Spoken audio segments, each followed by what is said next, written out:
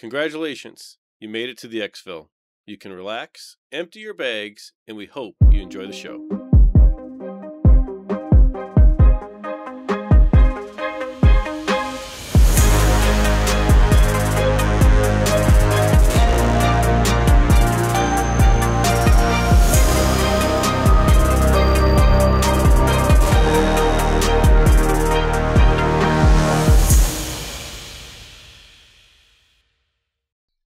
There, Mike, aka MTB Trigger here, and with me as always is my co-host Ronal, aka Eric.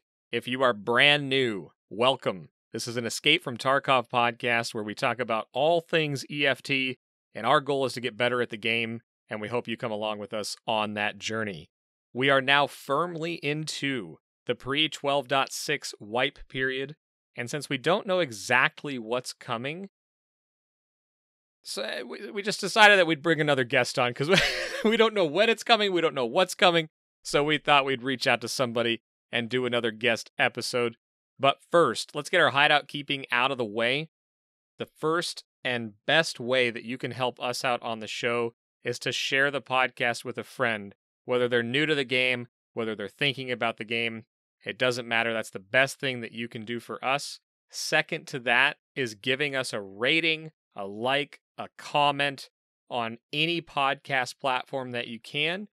And then always, if you listen to the episode multiple times, we thank you for those of you that do. If you can do one of those on a YouTube browser, even if you open it up on another monitor and just listen to it, helps us out tremendously over there as well. But that's it. We're going to jump right into this one this week. So for me, you can find me a couple days a week on Twitch. I'm also on Twitter and Instagram at MTB Trigger. And yeah, Ronal, let these fine folks know how you're doing, what's going on, and uh, let them know who's on the show with us this week. Hey, what's up, everybody? Uh, the best way to get in touch with me is always on the Exfil Discord. Go ahead and send me a DM there. We're always happy to talk to everybody in the Exfil community. And as always, you can get me on the Twitters at Ronal Gaming can follow the show at Exfil Podcast. And also, if there's something you don't want to send through Discord, you can email the show at xpmedia2020 at gmail.com. That's the official contact point for the Exfil Podcast. And finally, be sure to check out the website at xpmedianow.com. Look for blog entries and other interesting new content to be posted there on a regular basis. But we're done with that for now. Tonight on the show, we have a guest. Some of you have probably chatted with him in the Exfil Discord before because he posts his loot in the loot page pretty regularly. He's the founder of a globally recognized and touring band, the Lumineers. And if that doesn't ring a bell, maybe the song Ho Hey or Ophelia does. He has a large following on Instagram and Twitter, and even streams a few days a week on Twitch but most recently partnered up with Razer and has some really neat content coming out as a result of that. And we've had the pleasure of even playing with him from time to time. Jeremiah Fraites, Jer, welcome to the show, sir. How are you? I'm doing well. Thanks for having me, guys. Awesome, man. And I mean, Ronal kind of alluded to it, man. And I know that uh, you're not on tour right now. And uh, when you're not on tour, you're generally finding some time to jump in and and play some games. And we've had the pleasure to do that for the last few weeks. Um, but it was about six months ago when you and I were both pretty heavy into PUBG, and we had that conversation of you were going on a pretty long stretch of your world tour. We needed to get some games in because there was about to be a very long stretch where you didn't think you were going to even get to game.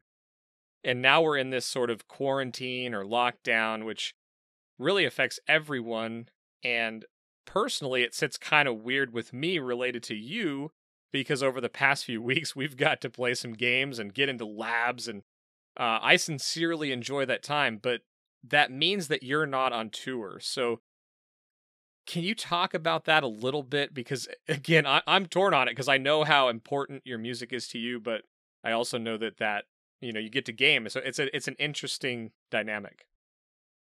Yeah, it's been interesting to say the least. I mean, I think everybody's got their own situation to gripe about and their own hardship that they're experiencing. For me, with regards to touring, yeah, that's true. We had a you know massive kind of two year tour booked.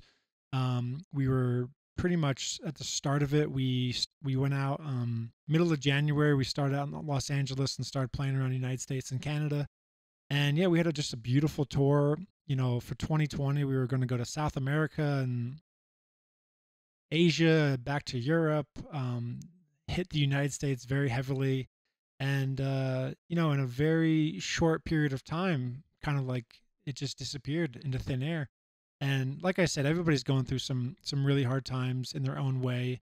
And at the end of the day, I can't complain too much. Um, I do complain from time to time, but um, when all's said and done, you know, the tour, um, at some point, you know, things will resume and things will, I like to think of it as no, nothing's being canceled, but more a postponing of these shows. So I'm really eager to get back out there. But at the same time, like you said, I'm trying to make the most of it. You know, I'm getting more at home time, more family time.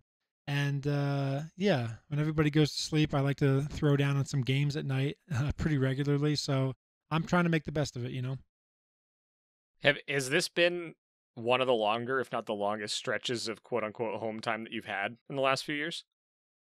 Yeah, it's been. I mean, when we're not touring, um, when a, when a tour cycle is done, we do have time at home. But this is a very specific way to be home, where, um, you know, you can't really do anything normal, obviously. So, I don't remember the last time I've been home. Yeah, this much, but it's a very strange being at home. It's the atypical being at home and um, but like i said i'm trying to make the most of it and i've been trying to actually record some solo piano music which has been difficult at times because i have to you know when you go into a studio they have soundproof walls and whatnot. Here in a house um, you know there's construction around and there's cars driving by and there's airplanes overhead and whatever so it's been challenging and i find generally not just with the recording um, what normally took one day now takes three or four, sometimes five, and it's very frustrating. I kind of equate it to, um, so I've been trying to record, and I feel like I equate that to um, if I were making an ice sculpture. Uh, once a day, I walk up to the ice ice sculpture and I kind of take a whack at it, and sometimes that one whack is not the one that you intended, and then that's like kind of your one thing you can do. And every day I look at this ice sculpture and I'm like, man, that still doesn't really look like an ice sculpture, but ideally one day it's going to look like something but um for someone like me i, I have uh, very little patience in general so it's been very uh, difficult acclimating to this new kind of reality. I, I guess i find that really interesting right? And we had um we had veritas on the show uh who's a pretty big content creator for tarkov but he's also uh, produces some music of his own and he sort of talked about this concept that sort of relates to what you just said about the ice sculpture, but it's kind of like he would say, you know, you kind of create this thing over time and you add something and you take something away, you modify it. And then in, in his mind, it was you experienced this piece in his mind all the way through, but then other people kind of take it and experience it completely differently. With with this, your solo album, I guess I'm assuming this, but I'm assuming it's going to be all piano. But do you find that like you'll write something and you maybe you don't think it's quite done or to your point you took a whack at it and someone's like that's perfect and you're like ooh yeah no that's not anywhere close to where it's going to end up. No, it's a great question. I mean, t- sometimes you think you make the most miraculous genius, you know, stroke and you're like this is going to blow people's minds and then you show it to somebody and they're like yeah, that was cool and then sometimes you do something very quick you do something hastily you don't really think too much about what you're doing and you kind of ignore it. And then somebody shows eventually hears it or you show it to them inadvertently or they overhear something and they're like what's that?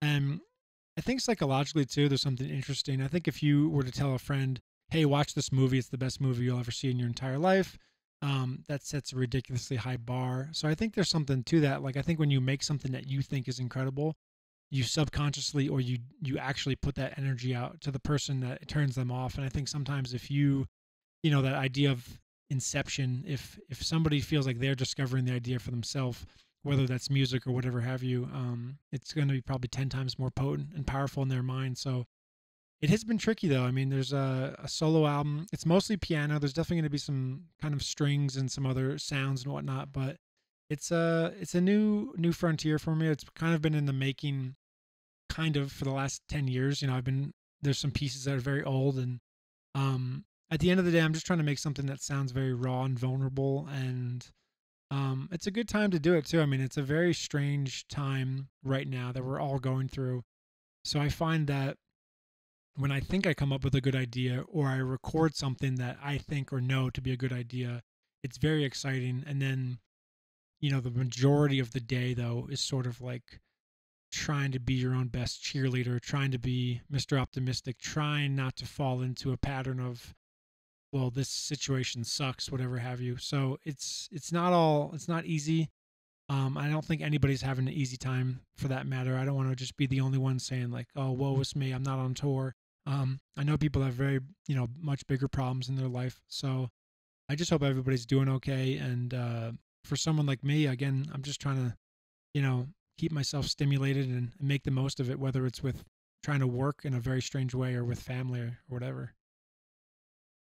Yeah, and I think that's the the most interesting part for me is just getting to know a little bit about your world, right? Because when we spoke the last time, and and to preface this a little bit for those of you that um, are just hearing from Jeremiah or Jer as we like to call him, um, we actually had him on the Winner Winner podcast, which is the PUBG podcast uh, that I also host. And we did a much uh, deeper dive on gaming um, and some other stuff over there. So I'll plug that right now and just say, hey, if you want some more info on Jer and some more background info, we're definitely to get, you're definitely to get that over on the Winner Winner podcast.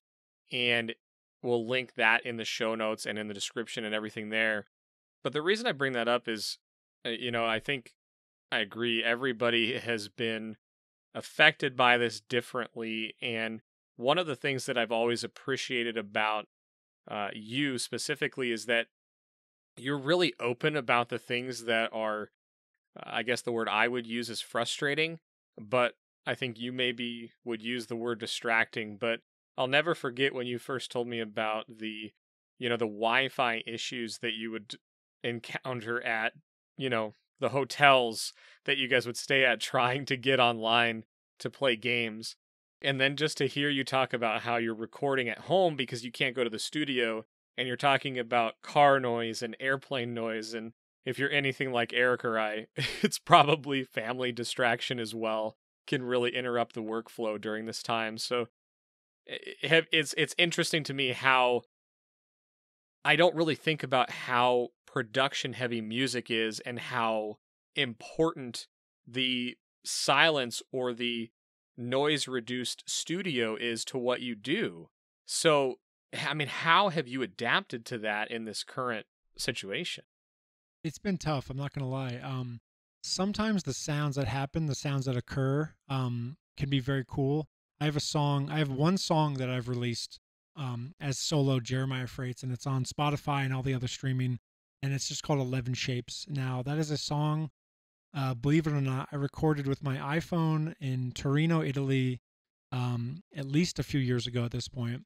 Uh, my wife was working at the time, so I was just kind of chugging espresso all day in Italy and playing on this piano. We were actually staying at an Airbnb in Torino, Italy, and there was a beautiful piano there. So I was writing constantly, and it was a very, very um, productive.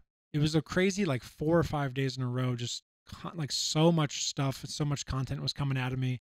There was something about this piano at this airbnb and that song 11 shapes um, if you listen to it, it there's a lot of noise but also the door was open and it was raining and there's something about that that i love that. I love listening to that and remembering the rain and it takes me it's almost like a diary or like a quick snapshot where it not only i can remember the place but i can remember the rain and this or that now, sometimes you're doing, just the other day, I was doing a piano take and, you know, somebody sped down the street. That's not a sick sound. That's not a beautiful sound.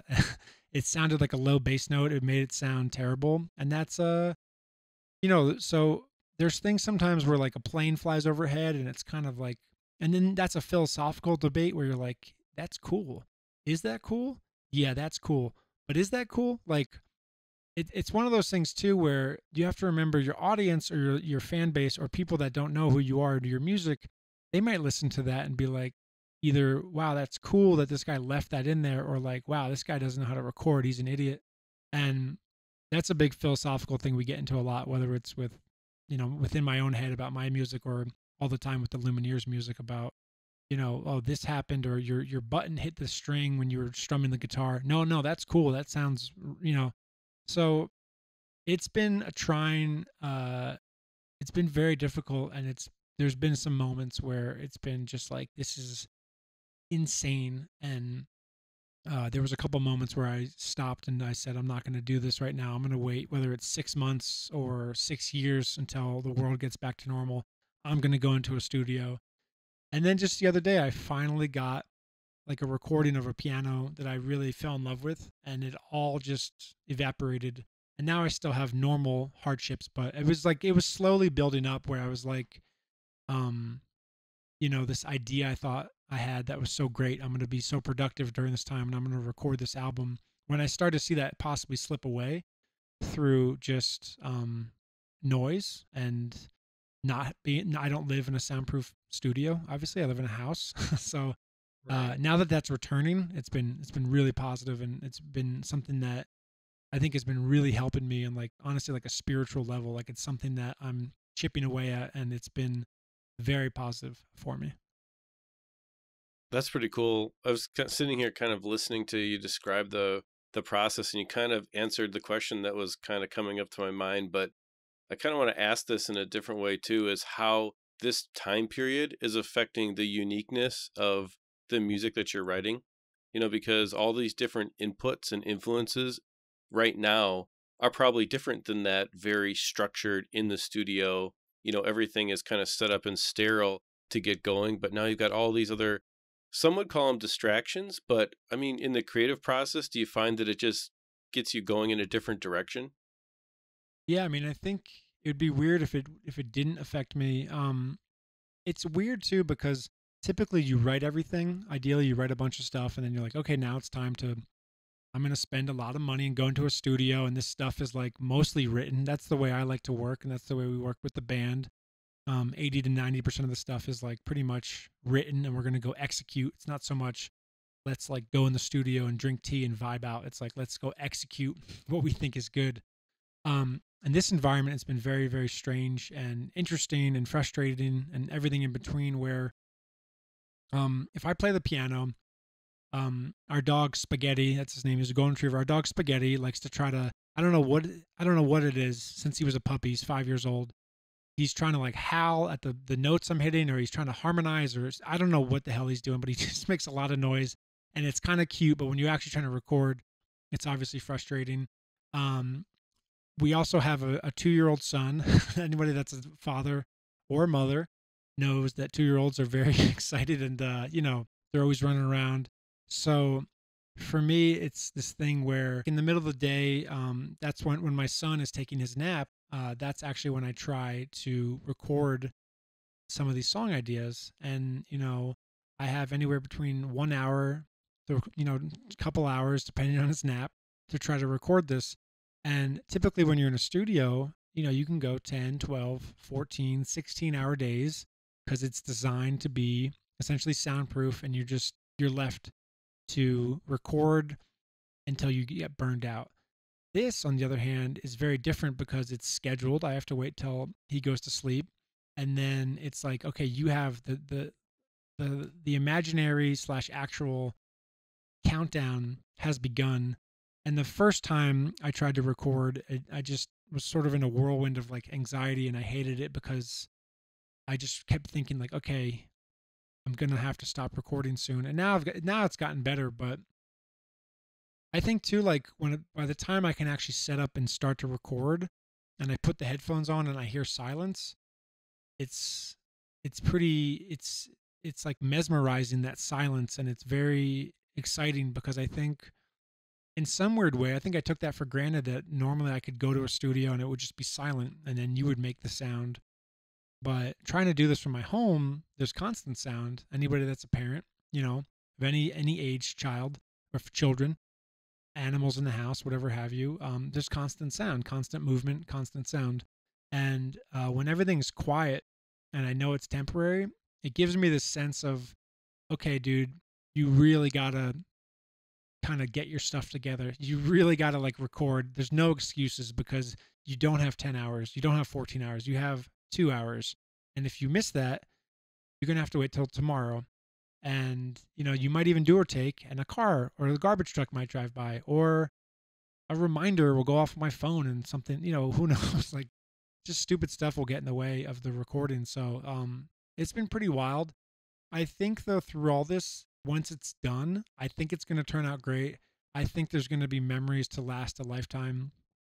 Um, the thing I'm trying to avoid is that I don't want this album just to be cool because, yo, he recorded it during pandemic 2020.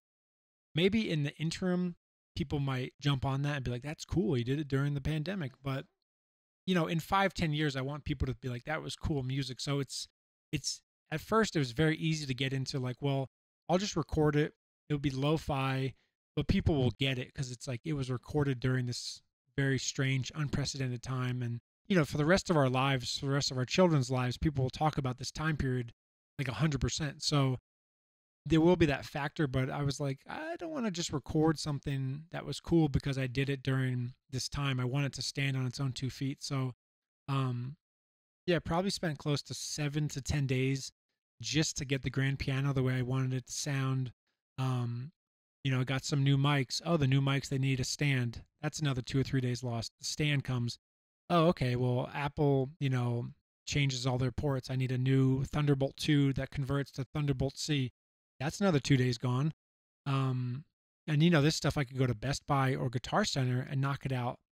Like I literally probably lost about 10 days of just, you know, the new reality that we're living in and trying to do something I've never done before. I'm working with an engineer remotely in New York State. Um, so we'd like FaceTime and I I would record some piano, send him the session. He would listen to it and be like, you know, it sounds out of phase, which is some deep science that the, when you record mics, they got to be in phase, and I don't know. Um, so yeah, it's been a crazy but crazy experience, no doubt. But I've learned a lot. I think I've learned that um, it's a good lesson too. You know, besides music, it's just like you you can't always get the things you want. You can't always get it your way, and uh, even though I would prefer to have it my way and record the way I'm used to recording, but I think in some weird way it's going to turn out great. And I don't know if it's going to turn out better or worse than other recordings I would have done. I think it's going to turn out the way it was meant to be. And uh, I think these memories are are hard to understand, you know, now, but I think when a year, two, five years pass, I'll look back.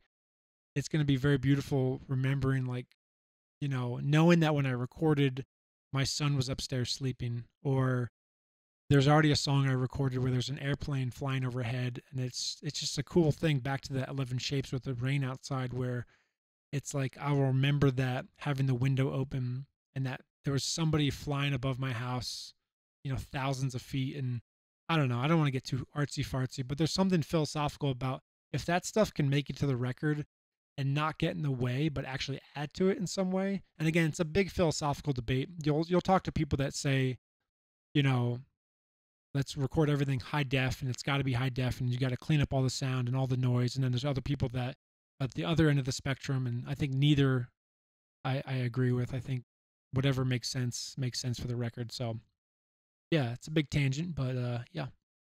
No, but it, we we go back and forth on that all the time, right? And just for the podcast or the YouTube or whatever, and just like, should we go do the 4K or would 1080 be okay? Or should we mute these sections? Should we boost the gain? All these things, and I guess one of the things that I've really come to appreciate about hearing this is like for one, it'll be cool to actually hear that when it comes out, right? And and to see if it's there, and anyone that hears this is gonna uh, hear that as well. But it's that, it's kind of that backstory, and I guess this this may seem like a rough transition, but it's something that um, I I don't want to necessarily dig into the topic and you're going to hear me plug quite a few things that Jer has done or is doing, and I'm going to encourage him to keep talking about these things because I think they're really cool.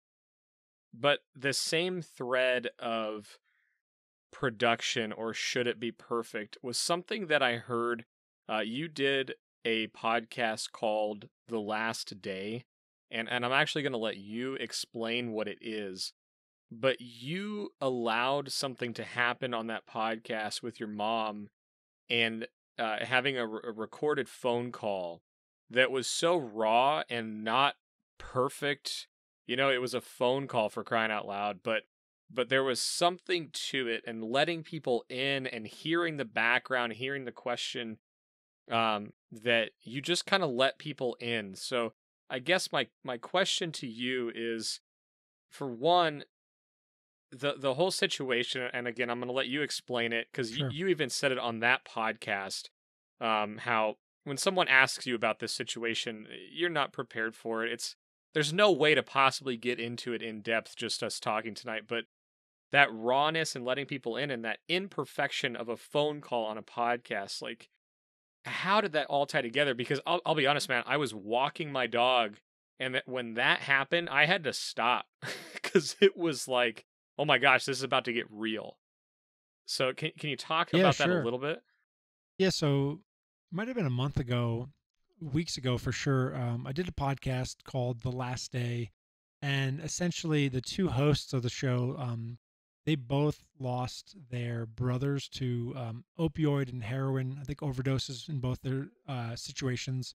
And um, they reached out to me because I have, unfortunately, um, you know, we have that in common. My older brother, he died of a heroin uh, drug overdose in 2001, so almost 20 years ago. And at first, I was really gung ho about doing it because I felt like it was um, it just felt like a good fit to go there. And then the day I actually told uh, the host who I talked with, um, I told her the day, the morning of, I woke up and it was just dreading it. And, um, you know, it sort of delves into the last, your recollection of the last day of the person in question of, you know, their last day on earth, the last day they were alive, which is um, extremely heavy, but I think it's extremely uh, interesting and profound too. I think it also helps that both hosts have lost somebody um, immensely close to them. I think if they hadn't, they wouldn't have the sort of street cred or whatever you want to call it, like the the key card to sort of uh, not make it exploited, like exploitative, whatever that word is, not exploit yeah. it. Like, hey, let's just talk about some dark stuff, and you know, um, but it was really cool to do it at the end of the day. And yeah, having my mom on the phone, um, that was something we talked about too, where we could have gone to a studio, but then this Corona uh, situation snowballed. So I was able to record myself high def because I have a studio at my house essentially. But um, yeah, we I I, I, actually said to the host, I said, you know, let's leave my mom as sort of the cell phone caller. And I think sometimes when you watch these um, great documentaries that blow people's minds, whether it's visual mostly on Netflix or it's a podcast, um, you know, you'll hear like that phone call from the inmate at the jail cell, and they'll leave it kind of grimy, and that's it's just kind of cool. It dates it, it places it, the the mood um, gets contextualized. Because it'd be weird if somebody was calling in from a jail cell and their voice was super high def, and you'd be like, "Wait, that doesn't make any sense." Wouldn't feel as vulnerable, but um, yeah. So I did that podcast, and it came out, and uh, I think a lot of people responded to it, and you know, a lot of people have that in common, unfortunately, and. I think for me, like almost to tie it to gaming in a in a roundabout way, um, it's been cool because you know, when you play the game, whether it's Tarkov, whether it's PUBG, whether whatever it is, there's those loading screens, there's those menus, there's those the game is starting up or the game is turning off and you're shutting down the stream or whatever and you're just talking to the people and you know, sometimes you play with people and 98% of it is about the game. And sometimes you talk to people and you get into stuff. And I think that's what's been really cool about you know, like I don't I'm not really like a variety gamer. I find a game and I get like very very into it and that happened with PUBG and now I'm currently in that with Tarkov where um it's been so much fun to like sink my teeth into, but I think it's cool too to like you know, the gaming sometimes is not just the main focus. It's it's the social aspect, it's meeting people whether it's very um you know, like at arm's reach just in the chat of your Twitch stream or whether it's like hey hop in the Discord channel and interacting and engaging with people and getting to know them. Um, it's been really cool in that regard. And um, yeah, I don't know. Well, and that social aspect is definitely interesting because uh, just in the past few months, I mean, you've done a couple things like teach piano or just gotten on your stream and then chatted with people and and showed them around your your studio office and, all your various instruments and some of the story behind them and then you would play some requests and then you did some more formal piano teaching but then on your twitch you also do things like just game right? And um, we've played together on the stream and you, you've played with some other content creators. So how is your mindset different? Like is it different when you're going on to you know communicate with maybe fans of your music versus fans of just you and your gaming um do you find it's kind of the same mentality or do you have to prepare differently to do that? So when i first started streaming um it was very strange for me and it was very kind of awkward and i didn't really know how to i also was on a 15 inch laptop on tour with hotel wi-fi so it was quite difficult to even get the stream up and running uh, most days, let alone have like high octane playing and then engage with chat. And I also had to like, I only had the 15 inch monitor, so that would be for the game, obviously. And then I either have an iPad or a phone on the side to look at chat. And I just didn't really get it. I didn't really know how to do it. And I still am kind of, you know, walking or crawling for that matter with the, with the stream. But like you said, I did a few, I did a handful of piano tutorials of Lumineer songs and kind of, that was really easy because it was something I know so well. I mean, it would be like, you know, somebody like Choco Taco talking about PUBG or Pestily talking about Tarkov. It's just it's so second nature. Um, they have so many hours in it. They just know it so well. And it's like talking about, you know, their best friend in the whole world or something.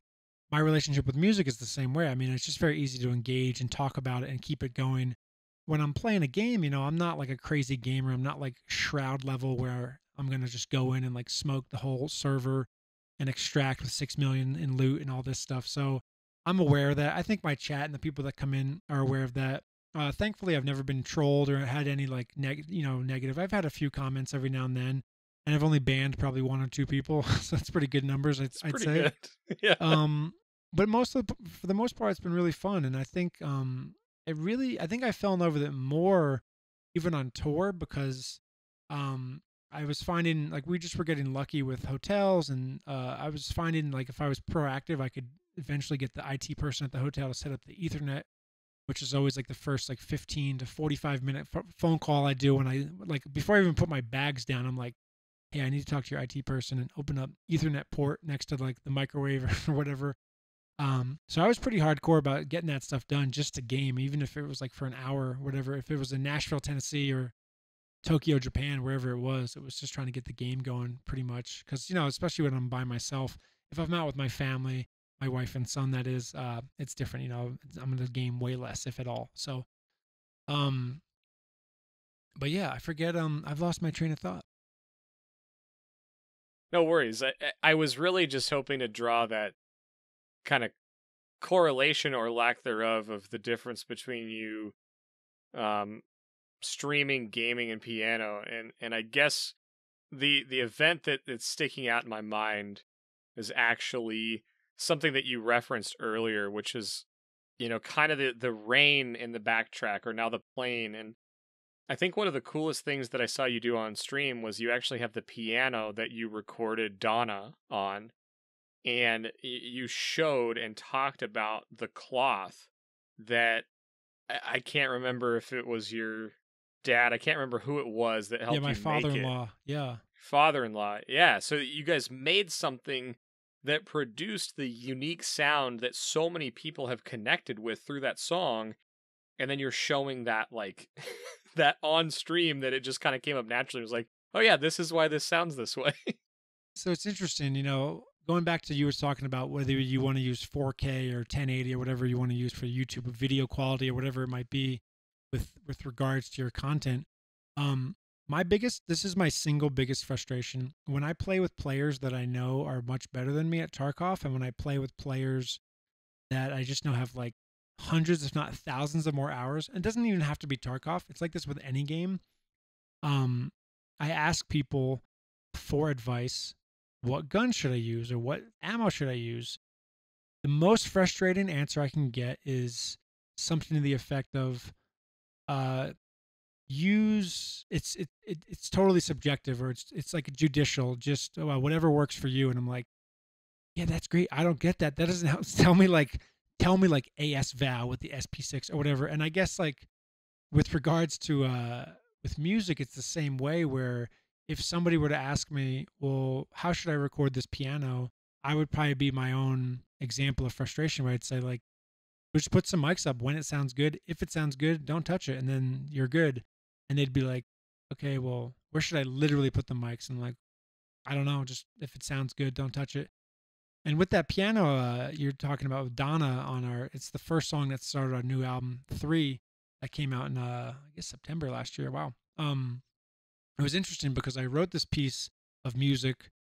Uh, it was just started out as an instrumental before like the melodies and stuff were worked on, and it was recorded. There's a there's a way to mute a piano, and you can buy these pianos that are muted, and there's a pedal, and it's very easy, and it's very like professional and I, I, I looked it up and i think it was like 115 or 130 dollars to buy this kit on amazon where you get some screws and you put this piece of like felt down in between the hammer and the, the string and i was like that seems like a lot of money to put a piece of felt between hammer and the string.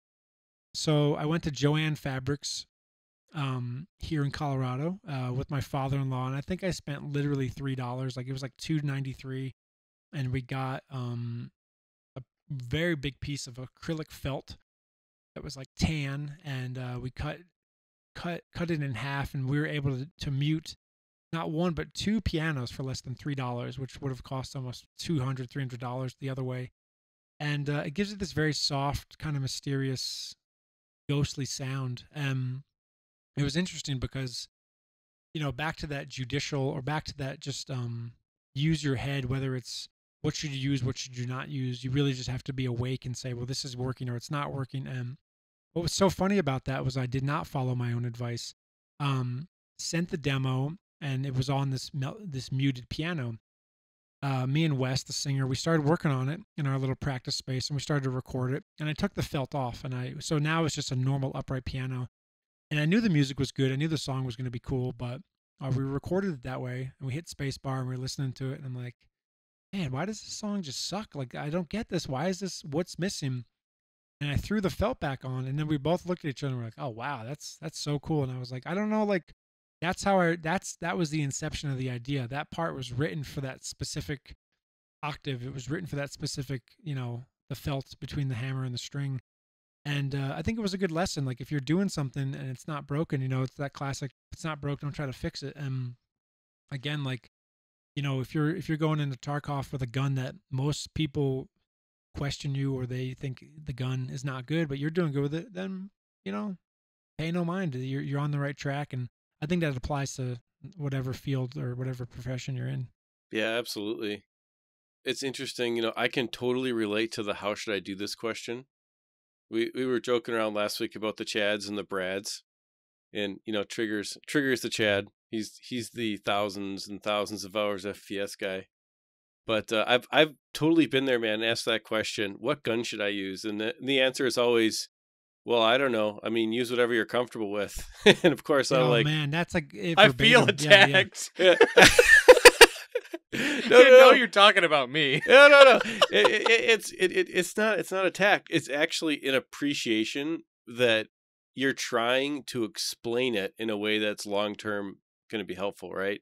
Once but, you get enough hours and over the hump, then it finally makes sense. And I think I have, I don't know how many hours I have, two, 250 maybe, something like that.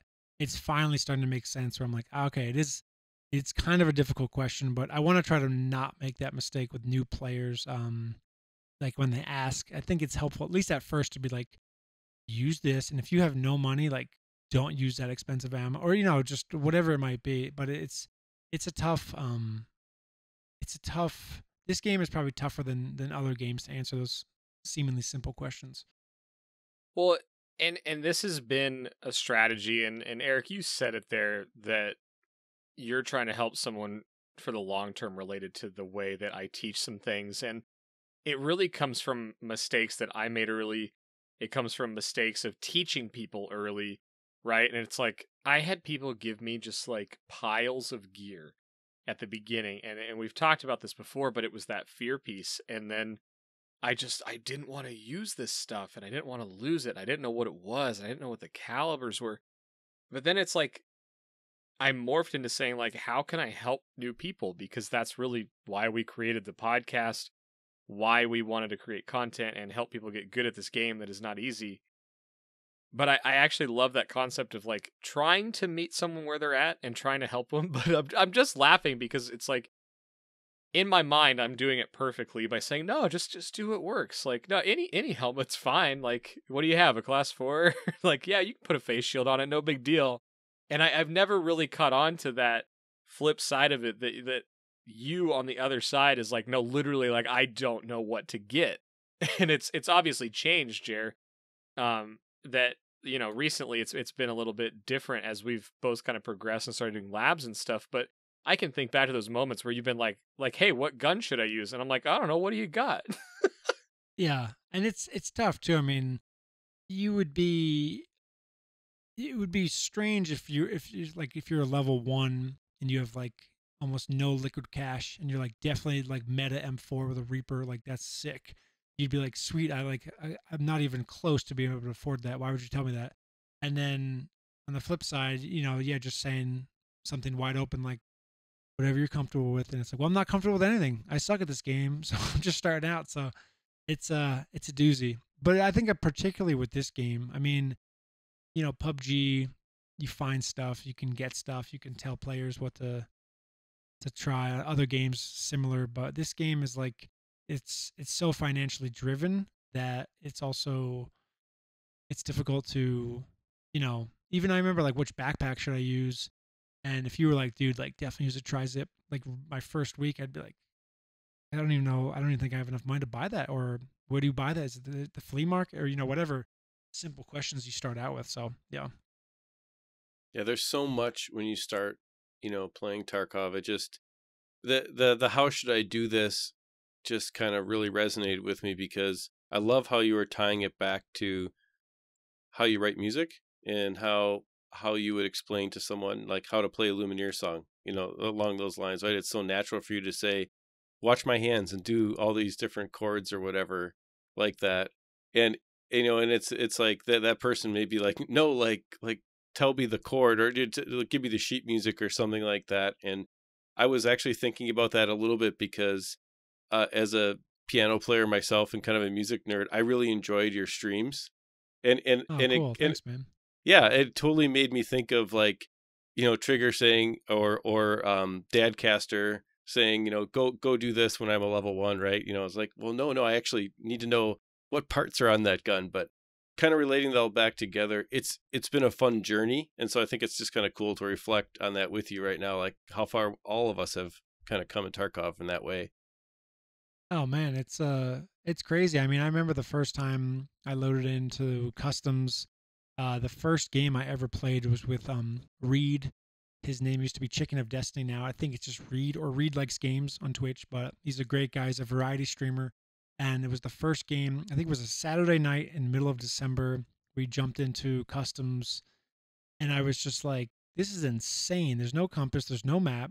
Even finding good maps at the time on Google, in my experience, was difficult. I was like, "Who made this game? This is like the like the learning curve like it, it, it was almost as if they didn't want anybody to play their game which ironically made probably more people interested in like i you know i really give them a huge props for testing their audience. It was like you know what? We're going to make a crossword puzzle and it's going to be super difficult and that's what we're going to put out every week. There's not going to be any like hints there's not going to be any clues. We're just going to see who wants to try to complete this very very very difficult crossword puzzle and I think that they, you know, they they attracted that sort of um that fan base. You know, that's what the people that you know play the game for a week or for one hour and they uninstall it. Those are the people that um weren't meant to just play this game and it's a very frustrating game but you know it's it's an it's an absolutely incredible game also obviously it's more incredible than frustrating otherwise i wouldn't continue to play it so um yeah well, and you just mentioned the kind of like moment I think everyone experiences when they pick up Tarkov and they're like, this game like literally doesn't help you at all. There's no help. It's, I mean, you're thrown into the like zero UI, nothing. There's no map, and the maps that are in game are useless. Like the whole bit.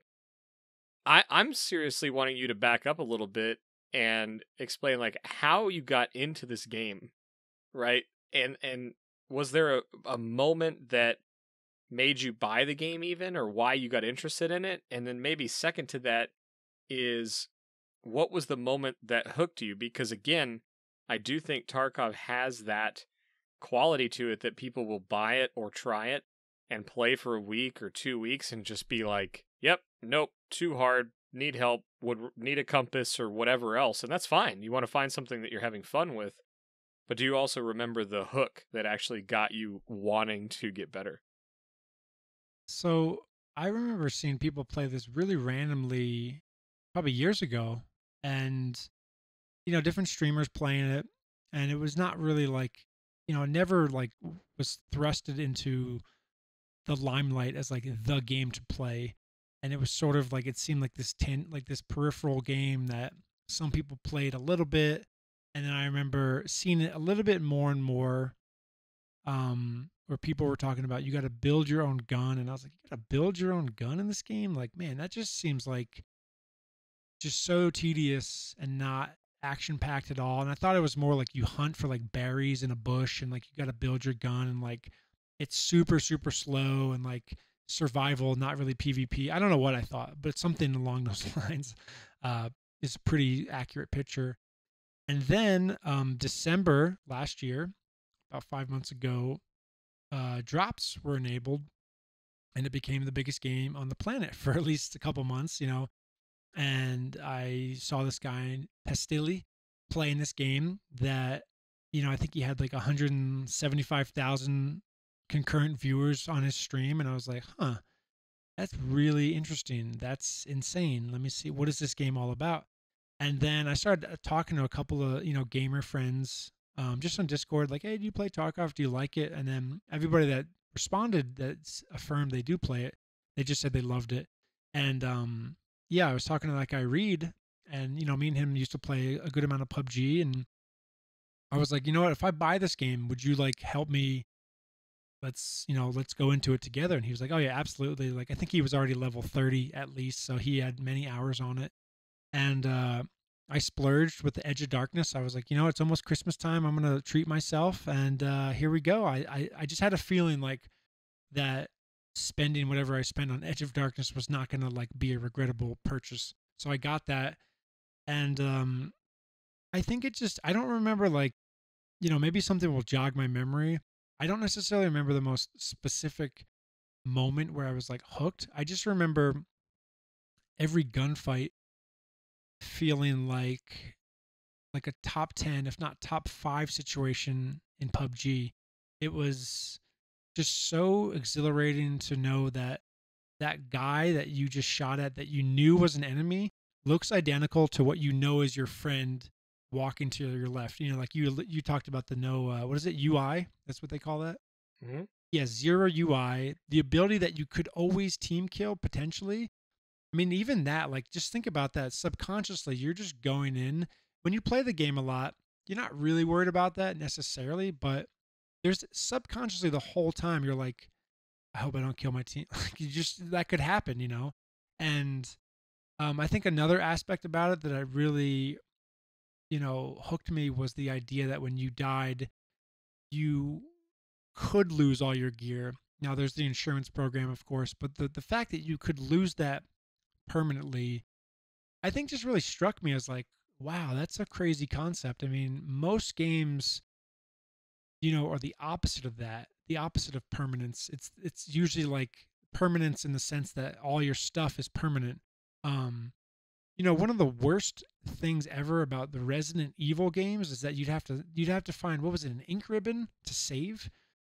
I think to save your game, you have to find an ink ribbon if you're playing on a particular difficulty. And it was like that was absurd to me. Like you couldn't just save the game. You had to find an ink ribbon and go up to a typewriter and save the game. Eh, but it was also something like this is cool. Like the developers are testing their demographic. They're testing their player base to see if people can like put up with that quote unquote. You know, some games you can just you can be like mid air and hit like save and then go eat your macaroni and cheese or go out walk the dog or whatever. Um Tarkov, I don't know, just I think that underlying base of you could lose all your gear, You could kill your friend very easily. Um, there's scavs, but then there's player scavs. Trying to like early on, trying to discern between a human and an AI was very challenging. I still find it challenging at times. I've gotten a lot better at it, obviously, but you know it's still challenging at times. And um, I don't know. There's just such a like a methodology or mythology or a lore about this game that is just very deep and I, I like you know obviously I like games that you can sink your teeth into and I think uh, this game is is clearly one of them where um, every turn that probably should have dissuaded me from furthering my you know continuing to play the game I probably should have uninstalled months ago but I never did and I just kept you know it was really fun too being able to talk to people that had many more hours in the game than me, and I think that really brought the game to life. I think if you just were to get this game when the drops were really like, you know, and there's probably going to be an interesting time. I think there's definitely going to be a resurgence coming up in the next couple of weeks or three weeks, whenever this, you know, I don't know when, but whenever this wipe occurs, there's going to be some pre-wipe events, I'm sure, and some craziness, and I'm sure, you know, tens of thousands of people are going to flock back to this game. But um, yeah, I don't know. It's been a it's been a very interesting ride. This is it's probably the most unique experience I've ever had with a game. I can say that for sure. Well, let's let's talk about the wipe too, because I I love those origin stories, but I also like to hear about like current progress and where you've got right now. So, you know, we're we don't know if it's next week or three weeks from now or whatever it's going to be, but we know that the wipe is imminent. That's what we know right now. There's some things that are coming with it that we are aware of, but we alluded to it before that you've been playing in labs. We've done that together. Did you ever imagine yourself getting into the quote unquote end game stuff in the first season or wipe? And is there anything else that you're looking to accomplish before having to start over in the next wipe? So the wipe for me, um, so I bought the game in December, played it a lot in December and January. Knew I was going on tour for two months from the middle of January to the middle of March. Knew I was not going to be able to get a lot of time on Tarkov. So, very early on, I wasn't as committed to tasking as I normally would be. And I was not as, I didn't even know what the hideout was. I never even touched the hideout, like at all, zero. I was like, the hideout, it's useless because I'm going to be gone so much. I'm just going to try to PvP, task a little bit, whatever I thought. Um, I can say that then I kept seeing this word wipe on like message boards and like YouTube and Twitter comments, and I was like, what is wipe in the context of Escape from Tarkov? So I looked it up, and my heart really like sunk. I thought, what a I really was bummed at the idea of the wipe at first. I thought you're going to lose all your like your skills, all this your guns, all your money, this or that now I think it's a really brilliant idea, and I'm really looking forward to it. I wish I had started this game years ago, to be honest. Um, I think that going through my first wipe is going to be really healthy psychologically because the first guy that I play with uh, often, his name's Wrestle Eagle, and he was the first person that really instilled upon me don't have gear fear, but he really he doesn't just talk the talk. He really walked the walk, and he's really good at the game. So there's that. It's not just like deleting stuff, and he sucks at the game and is constantly dying. He's very quite good at the game. He's a you know bona fide Sherpa, but for me, he really instilled like don't worry about the gear because you have to remember the wipe will always come, and something about that honestly made me enjoy the game even more. It was just like slow. It kind of was like a planted like a a seed that got planted that at first I don't think I quite understood. Like, don't really worry about your gear so much. Worry about the game, worrying about learning game sense, audio cues, etc. And yeah, at first I didn't really quite, didn't really, wasn't two plus two equaled four at first. And now I think it's really sunk in where it, I don't know, I can't really even articulate it. It just, it truly helped me enjoy the game more, knowing that everybody was going to lose everything anyway you know, you could even say the same about life. Like you can try to jack up your bank account in real life. You can try to acquire a bunch of stuff. You're not going to take it wherever you go, whenever you do go. So I don't want to get all like weird and, you know, metaphysical and metaphorical, but there was something about that that I thought was really cool. you know, now talking more in pragmatic terms, the wipe, it's been driving me nuts because I know now that it's imminent and it's really put me personally in a very strange in limbo. Um, I can't, I just, I wish the wipe would happen like tomorrow or even yesterday. It's, it's really put a damper in my play personally because I've stopped tasking and I'm sort of like, okay, this is going to be weird. And I know at some point everybody's going to have like, if not already, like the craziest I just feel like these next whatever if it's a week or if it's three weeks or a month, in my opinion, I don't think it's going to be Tarkov. I think it's going to be a little bit zany at times and very memey and very almost like a circus, if you will. I don't want to you know go too far, but I think that with the amount of loot that people are going to have and the type of guns that people are going to have, it's not, in my opinion, it's not going to feel like Tarkov to me. And I've only been, I've never gone through a wipe, but I, I'm looking forward to the wipe happening because I really am looking forward to starting again, knowing so much more about the game.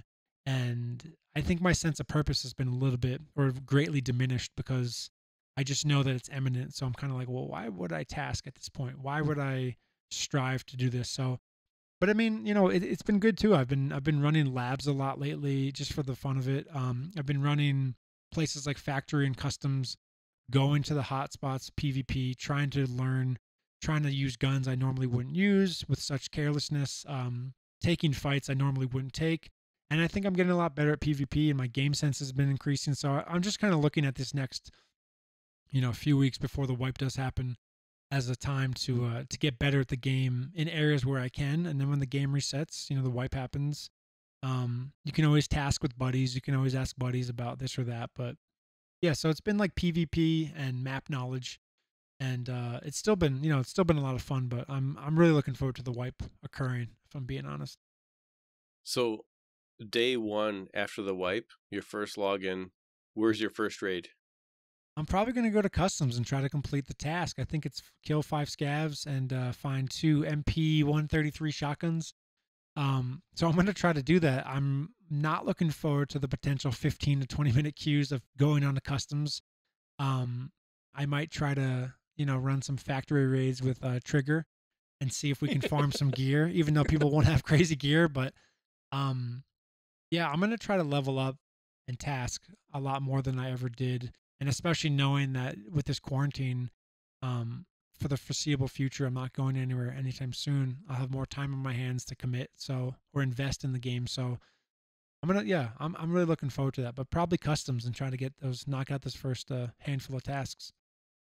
So, and I'm I'm not trying to trap you on this, and I think you know that, but if if we got word that the wipe was happening a month and a half from now, and you also got word that you could start playing small shows again at the same time, would would the gamer in you cry out a little bit, knowing that you wouldn't get to play at the beginning of the wipe?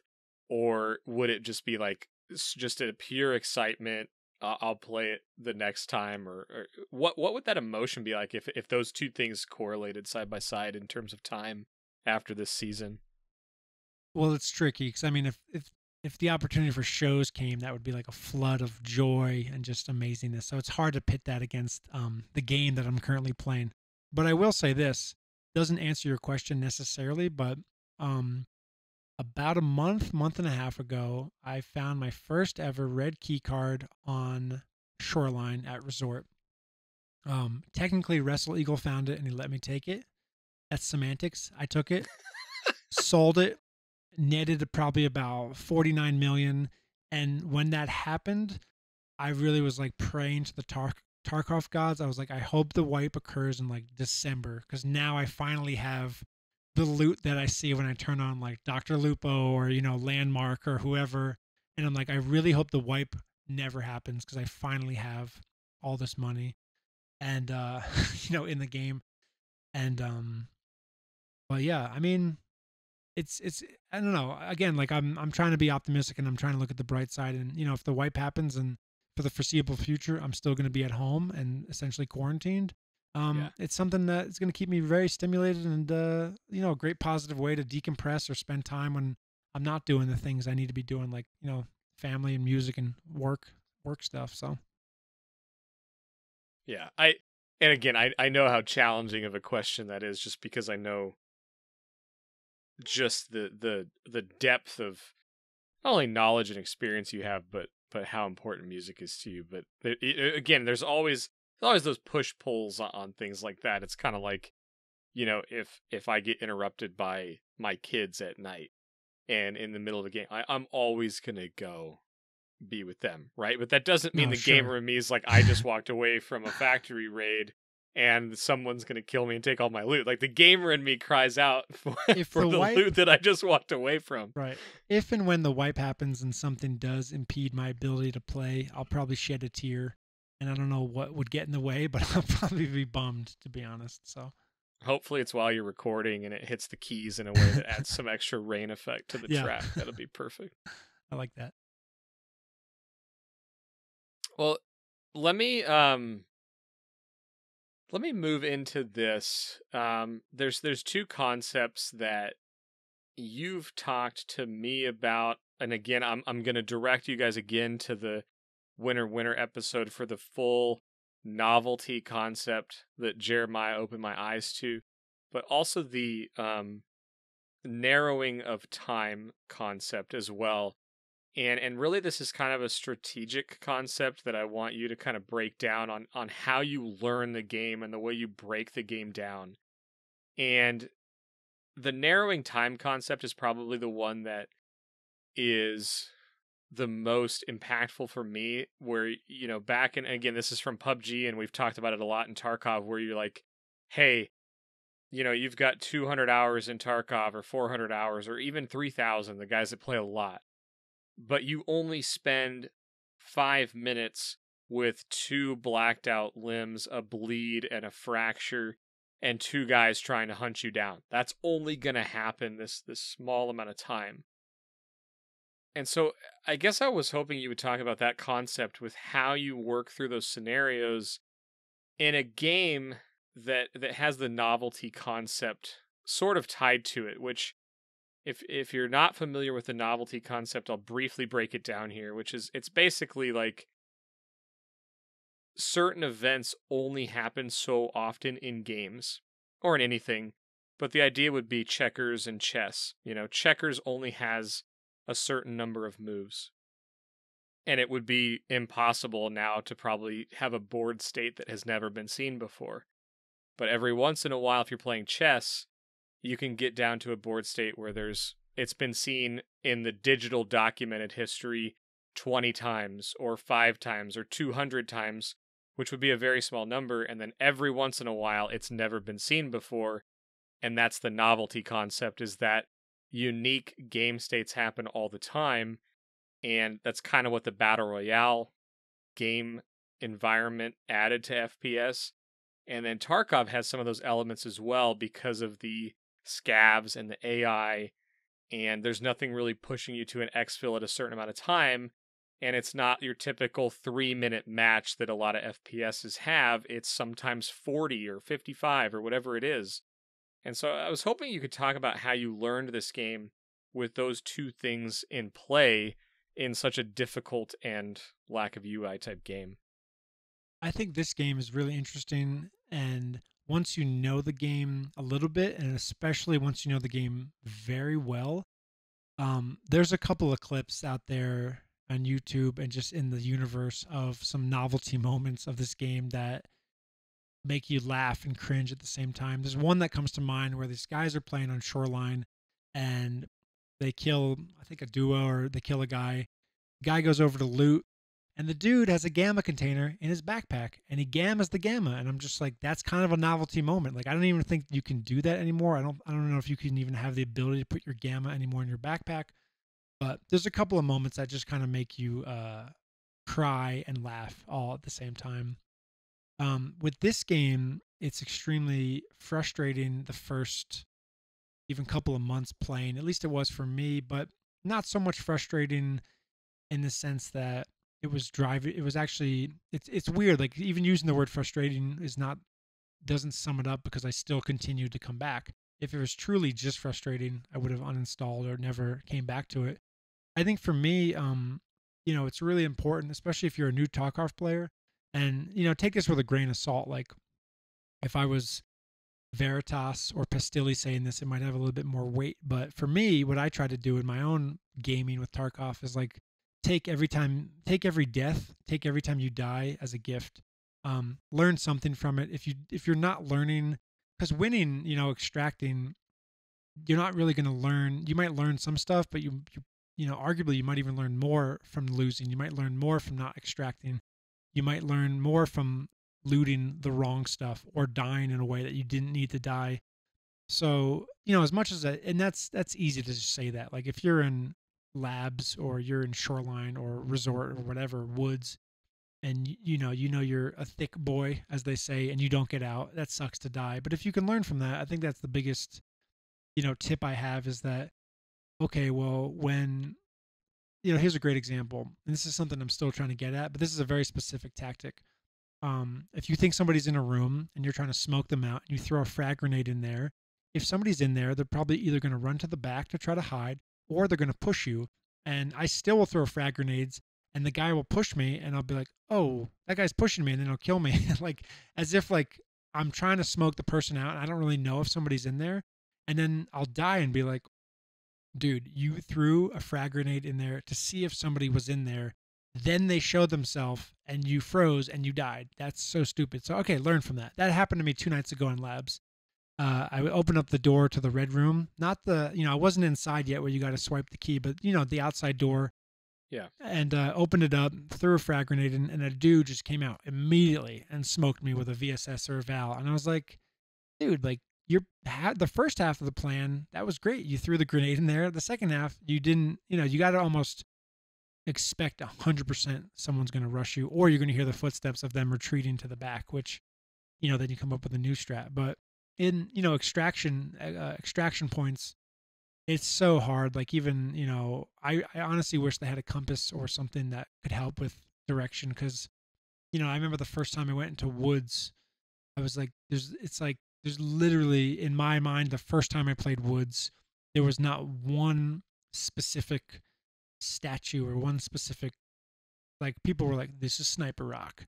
This is the cliff descent. And i was like it's literally they're all sniper rocks. They're, they're like it's surrounded by cliff descents. Like you know like even you know finding extractions. And i think um just baby steps. It's all about baby steps. I think if you can learn one extraction every you know to say that you could learn one extraction per game i think is unrealistic unless you're a very very intelligent bright person because even where you spawn in relation to that extraction is going to throw it off. Um, a place like Reserve, the first you know 50 times I played it, I had no idea where I was or what I was doing. Now I know the the dome, and you know you play everything off the dome. At least I still do in terms of where I am. But you know little things like okay, this is a this is Scavlands, and this is the pipe extract, and this is the uh, the sewer, and you you can't wear a bag. You know, like if you can just learn baby steps, but it's easier said than done and um, you know back to what we talked about a while ago if you can if you can start to find guns that speak to you chase that i mean if you're playing with somebody that loves a fully kitted ak and then you love the val or you love an m4 you love the mosin you're just you're like you're a sniper and you love it being a sniper whatever i would highly suggest chase that because i still am questioning if i'm going into labs with someone and I'm rocking an AK and they're like, oh, dude, I'm definitely using a Val. I'll be like, wait, should I use a Val too? And I know within the community, a lot of people hate the Val now. It's a big like meme. It's a big joke.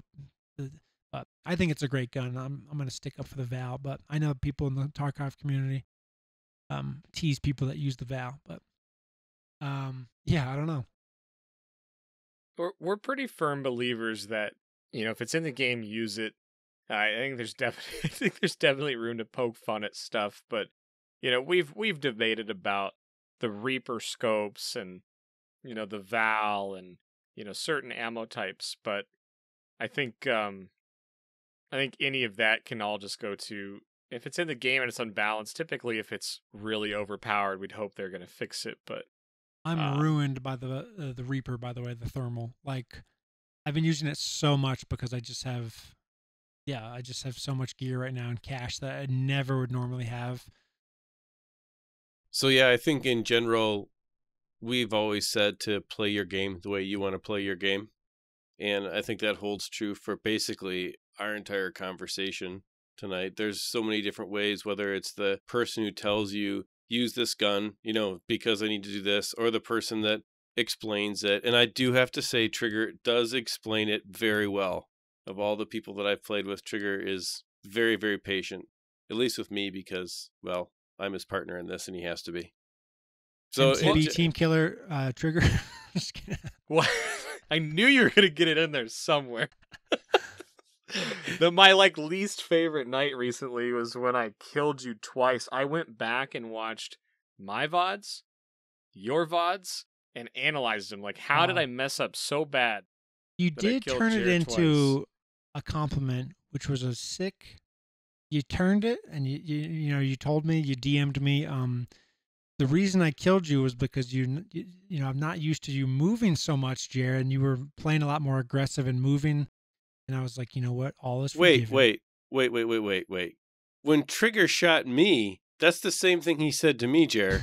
I'm pretty sure true. this is this. Is, wait, wait, wait. Well, hold on. We might have uncovered something here. It's it, it's kind of like he's telling us the same kind of deal after you know he shoots us both. Um. Well, first of all, I shoot things that move, so deal with it. Uh- I was prone in labs healing with an IFAK. so true. It's so tr- the second time. The yeah. second time. Um. No, it, this is really interesting to me because you guys actually both within, I would say, a 14 day window, a two week window. And this is funny because you guys, you guys have, you, you sort of have different play styles anyway but you both had the same sort of progression, at least playing with me, so maybe it's me. But it, it went from this like where I'd be like, okay, hey, we're gonna go up here, you hold here, and and both of you have really good game sense, and you'd be like, hey, there's somebody in this area, this is what's going on, I'm gonna hold this area, or you know, we'd we'd figure out where they were, and I would flank or rotate and try to flush them out and I would see where you guys were and this is both of you and I'd be like okay that's where they are that's where they're going to hold I'm going to play off of that. And 2 weeks ago I could expect that you would still be there or in that area but then in the last 2 weeks both of you have progressed into this like okay, this person's there. If I flank this way, I can get a different angle, and it's it's super cool to see. But I honestly gave both of you that similar feedback because it's true, and frankly, it's not you that's having the problem. You guys are progressing, changing your gameplay, making people move, and making people react versus reacting to them. And so when it was happening, I, I mean, I'm literally like, who is that? That can't be them. So I shot. like, there's no way. No, I like that. I mean, I think for me personally, I was it was really fun to take the back seat and just kind of have you like literally I think bring me gear and then be like, "Okay, you know what? It's time to die a lot and it's going to suck and I'm going to be in the lobby a lot waiting for you to extract on factory." But that, I think that's like where the band-aid got ripped off in a good way. It just was like, you know, I made a clear mental decision to be like, "You know what? It's time to get owned a lot, Jer. And there's, you know, obviously we all go through this. There's been a couple nights where I'm like, I'm literally not playing this game ever again. Like you lose 15 raids, a couple million, if not more, and you're like, I literally suck at this game. And I felt that way about, you know, I've been tilted with music too, where I'm like, I'm so bad at music. I don't shouldn't be doing this. And then, you know, you have a great night and you're like, all right, this is sick. this is awesome. So yeah, I and I totally uh I appreciate Jerry your your graciousness towards Trigger. I'm still going to maintain that the one time that we had a team kill situation, his right shoulder got in the way of my gun. So that was the, was the problem there. That happened. You that owned the night. guy behind me though. I like it.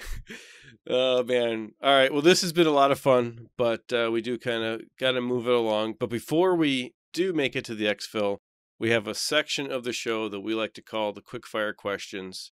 So, Jared, we're going to throw some questions at you. Just whatever comes to mind right away. This is not uh, not a long answer, just a quick, short answer. And we're going to start it off with your favorite gun. RSASS with a Reaper. What's your favorite map? Customs.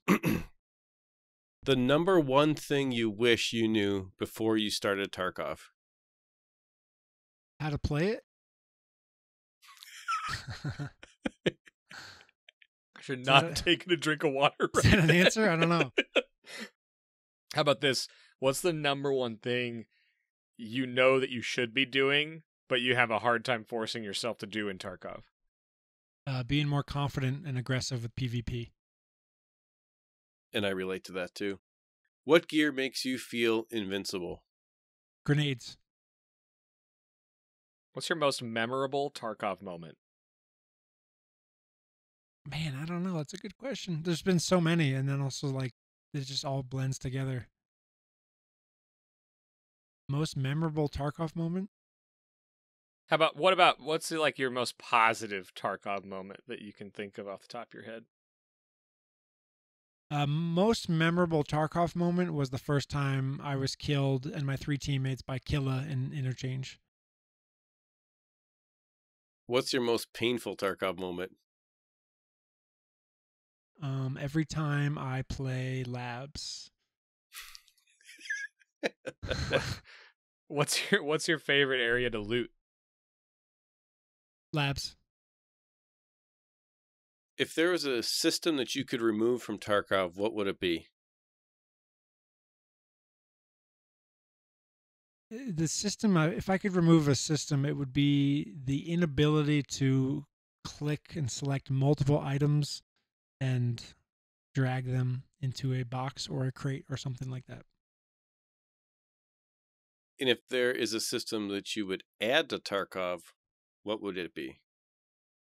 Automatic looting like items, so rubles on rubles, like ammo on like ammo, etc. And the final question is in one of your guitar show off and piano lesson streams, you promised that there would be a video of you tuning and playing the Altoids guitar. So I want to know when that's happening. Oh wow, put me on the spot. Um, I, it's actually behind me on the shelf somewhere. I'm not sure where. I know it's back there. Um, I'll try it sometime. I don't know. It's a good question. I will try and tune it, and I will try to plug it into my Fender amp and see if it uh if it even makes sound. I don't know if the, the piezo, the which is the thing that makes makes essentially makes the sound, collects the sound. Um, bought it from Radio Shack. It's it's really cheap. So let me see. I mean, I built the Altoids tin guitar. It's an Altoids tin box with a uh, half of a, a yardstick and some guitar strings and a piece of a credit card as like the bridge. It's pretty sick. I'll try to get it out and uh, post it on one of my social medias, whether that's Instagram or Twitter. That's a good call. I'm not going to let it go. I'm not going to let it go. All right, I like it. We got to Well- make sure the the thing that makes the sound makes the thing. Right.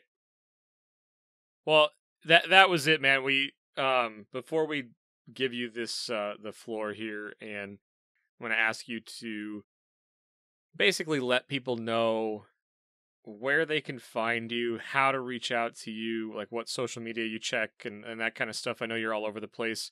Uh, but if you've got some content out there that you've done over this time, or if they're just looking to get to know you more or watch more of some stuff you've done recently, let them know where. But I, I just wanted to say thanks, man. I mean, it was a pleasure having you on the PUBG show. It's been pretty cool that we both sort of happened to start playing Tarkov and, and we've got to play together a bit more than we were expecting in this season. Um, and then just to, again, just to have you on this show as well. So thanks for coming on, man. It's always a pleasure to sit down with you, whether we're playing games or, or talking games. I just wanted to say thank you and uh, give you a chance to promote some stuff. No, for sure, man. It's been like likewise been been a blast being able to throw down Tarkov. Um, yeah. So I don't know. For those of you that don't know me, my name is Jeremiah Fraites, and I'm the co-founder of the Lumineers. Started it 15 years ago. I love gaming. Uh, currently play Escape from Tarkov a lot, and I do stream probably four to five nights a week on just my personal Twitch, Jeremiah Fraites. Um, just did a cool new kind of partnership with the PC company Razer, which has been very cool. I'm sure if you Google Razer and my name, there's a cool video, and it just kind of talks about um, kind of collaborating with them and you know using their amazing equipment not only for gaming but also for music production. And uh, yeah, I like to play Tarkov at night. It's a really fun way to decompress and I also did some musical streams for the first time in the last couple of months. Um, the the vods are up on my personal Twitch, saved as highlights, I believe, and it's sort of some cool piano tutorials and a guitar tutorial. And you know, I might be doing some more music streaming down the road, but uh, for now, it's been mostly games, and it's been a lot of fun. That's awesome. Well, I just want to echo what Trigger said and say thanks again.